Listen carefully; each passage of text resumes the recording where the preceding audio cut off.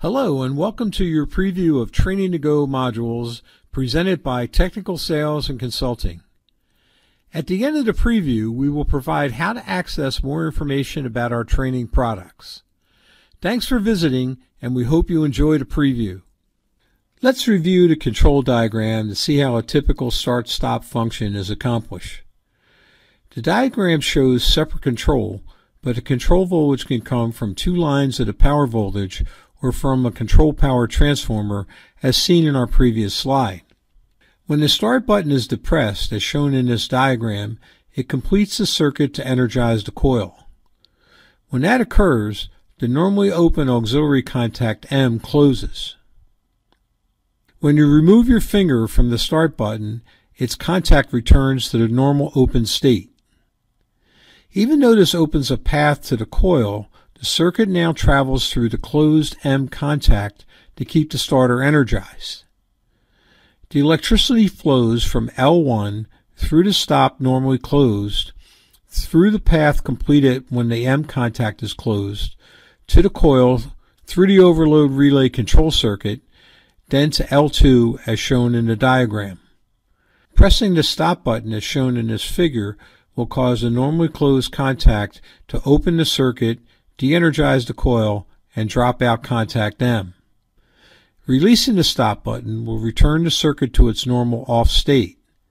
If there is a power outage or power loss, the coil is de-energized, contact M opens, and the starter drops the load off the line. When the power is restored, the circuit cannot automatically restart because the start button needs to be pushed to complete the circuit. Because someone must manually start this circuit, this can provide a means of personnel safety. Now, how is the operation of a contactor accomplished? First, the motor is started usually by the operator pressing a start button. Then current runs through the coil, creating the magnetic force to the E-frame.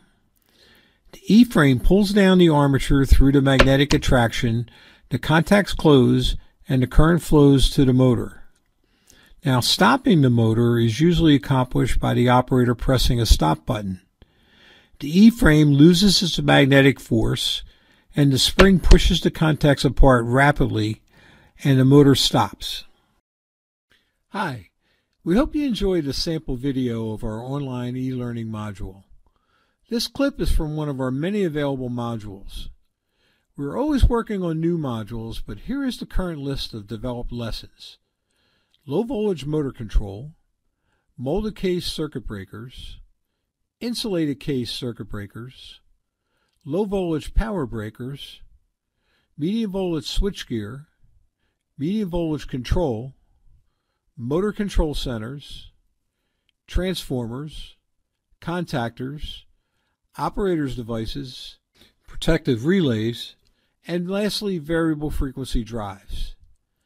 Outlines, pricing, previews, and requests for information are available at tsandc.com slash e-learning. Let our Training to Go programs train your people while you run your business.